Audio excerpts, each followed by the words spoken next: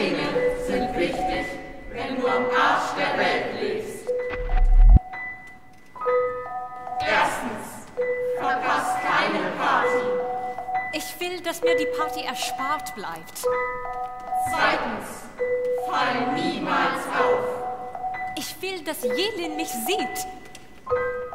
Drittens, verrate nie,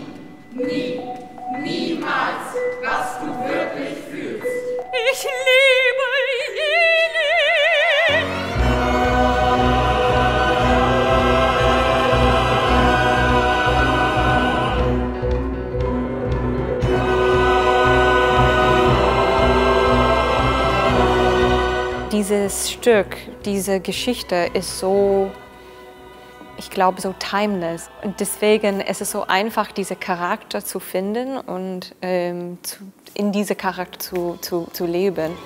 Also ich kann gut erinnern, wenn ich 16 war und wie war das für mich. Und diese, diese Gefühle sind so ähm, klassisch. Ja, das ist, wie man so oft im Teenageralter ist. Da weiß man manchmal nicht, was man will.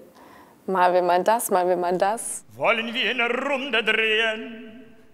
Nein, Da spielen die Hormone verrückt und man will irgendwie ausbrechen aus dieser Öde da, diesem Kaff.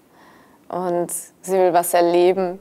weißt du, was mein Albtraum ist? Dass ich nie von hier wegkomme. Dass ich Kinder und Auto und Haus und alles habe, was ich brauche.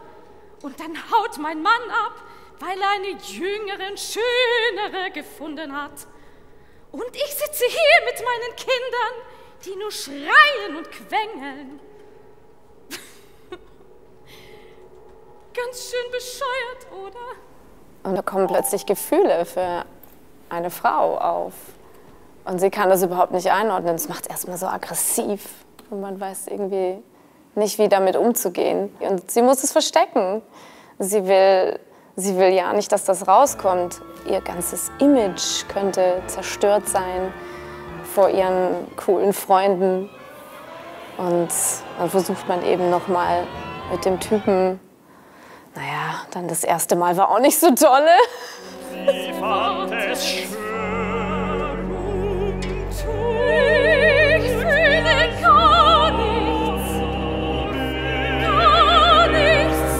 Das ist der verzweifelte Versuch, irgendwie das zu machen, was die Schwester auch macht. Ne? Die hat schon lange ihren Freund und dann, okay, Ich wusste genau, dass du hinter Markus her bist. Bin ich doch gar nicht. Und sag mir sofort, wer es ist. Es ist Johann. Johann Hult.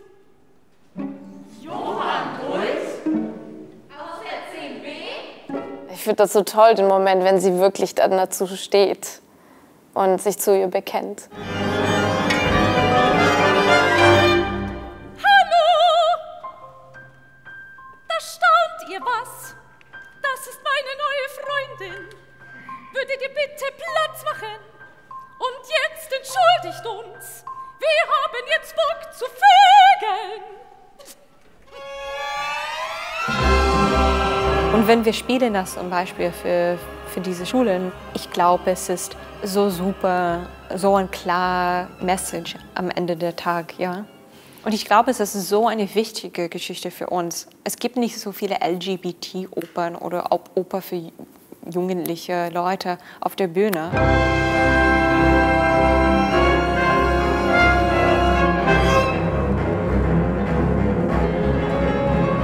Es geht um Haltung und es geht um, um Haltung gegen andere, des Einzelnen gegen andere, aber auch das Finden von anderen gegen das andere.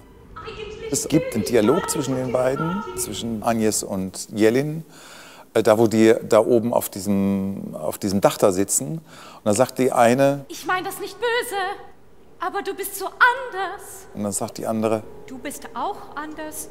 Und das ist, finde ich, eigentlich eine Schlüsselstelle für die Bedeutung, wo das Stück heute andocken kann. Also sie beide sagen sich nicht nur, wir sind anders als die anderen, sondern du bist auch anders als ich, obwohl wir beide anders als die anderen sind. Wobei die anderen auch nicht so anders sind und gleichzeitig ganz anders. Das heißt, diese Andersartigkeit als Lust, als Mut, als Zukunftsvision ist, glaube ich, etwas, was unsere Gesellschaft wahnsinnig braucht.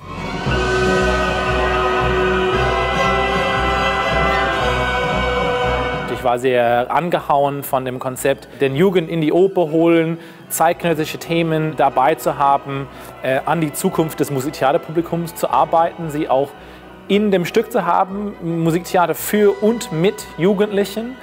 Also mein Interesse war es immer, alles in einem Stück zu bringen, die in meiner Realität als Zuhörer vorkommt. Und wir leben in Zeiten von Spotify und YouTube, wo man hinklicken kann von Stockhausen auf Monteverdi, auf Musical, auf Miles Davis. Ähm, und ich, es ist nicht unbedingt so ein Kochrezept, wo man alles aus dem Kühlschrank reintun muss. Aber wir haben eine unglaubliche Palette an musikalischen Wurzeln und Gewürze heutzutage. Deswegen freut es mich, wenn ähm, diese Vielfalt in dem Stück etwas vorkommt.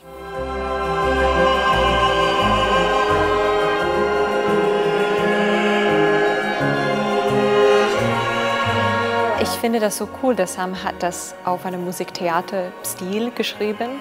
Es ist so wichtig für einen ersten, einen ersten Blick zum Publikum, für die Leute, die nicht Oper davor gesehen haben, etwas wie Musiktheater zu hören, also oder wie Jazz oder etwas zeitgenössischer, das die kennen jetzt.